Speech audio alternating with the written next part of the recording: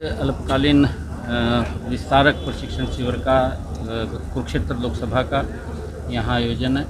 और पूरे हरियाणा प्रदेश के अंदर, ये 10 की 10 लोकसभा के अंदर हमारे अल्पकालिक विस्तारक, उनके प्रशिक्षण 9 और 10 तारीख को 10 और 11 दो फेसिस के अंदर, पूरी 10 की 10 लोकसभा के अंदर, लगभग छः हज़ार के करीब में हमारे अल्पकालिक विस्तारक वो नीचे बूथों के ऊपर जाकर के आदरणीय प्रधानमंत्री नरेंद्र मोदी जी के जो कार्य हैं, जो उन्होंने काम किए हैं, उनको लेकर के और जो आदरणीय मनोहर लाल जी के नेतृत्व के अंदर सरकार चल रही है, जो उन्होंने एक ट्रांसपेरेंसी शासन और गरीब व्यक्ति तक जो केंद्र से प्रदेश से लाभ आता है, उसके खाते के अंदर पहुँचाने के लिए सुनिश्चित किया है। उन सब बातों को लेकर के चर्चा करेंगे और संगठनात्मक रूप से संगठन नीचे और मज़बूत हो, उसको लेकर के अल्पकालिक विस्तारक ये नीचे बूथ के ऊपर जाएँगे, ताकि 2024 के अंदर दस की दस लोकसभा की सीटें बड़े मैंडेट से जीत करके आदरणीय नरेंद्र मोदी जी को तीसरी बार देश का प्रधानमंत्री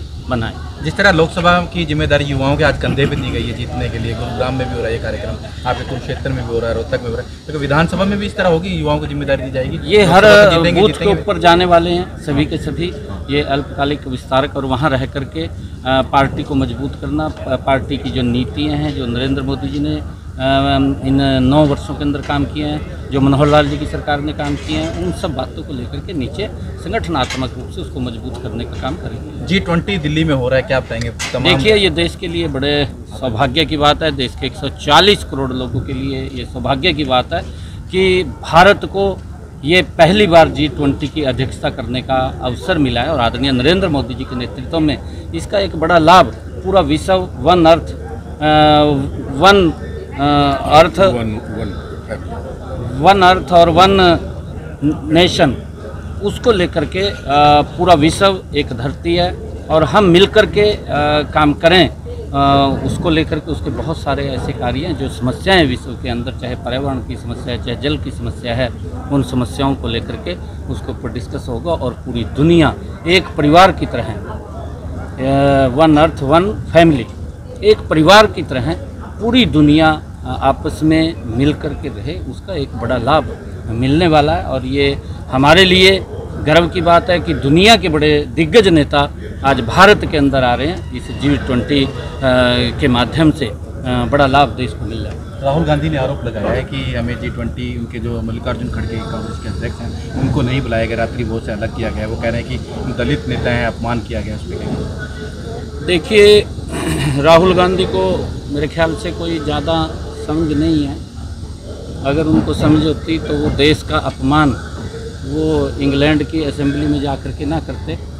विदेशों में जो प्रकार का दुष्प्रचार कर रहे हैं वो उनकी समझ छोटी है।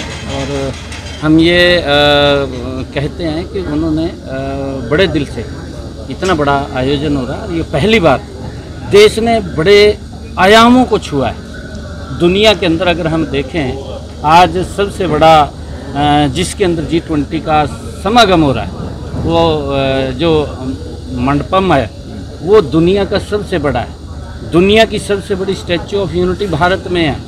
दुनिया का सबसे ऊँचा पुल भारत के अंदर है।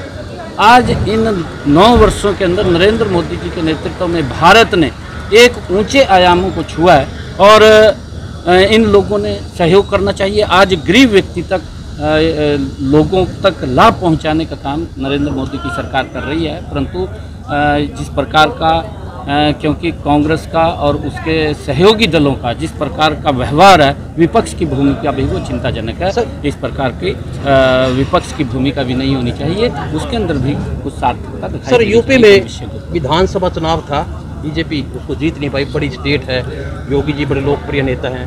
तो कहीं ना कहीं लगता है कि बीजेपी थोड़ा बहुत कहीं नहीं नहीं देखिए भारतीय जनता पार्टी भी सीटें जीती हैं ऐसा नहीं है। और कहीं ज़्यादा जगह हार, हारी है वो। नहीं नहीं देखिए भारतीय जनता पार्टी अगर पूरा उपचुनाव अगर आप लोग देखेंगे तो भारतीय जनता पार्टी भी तीन सीटों जीती है। तीन सीटें जीती है। सात उप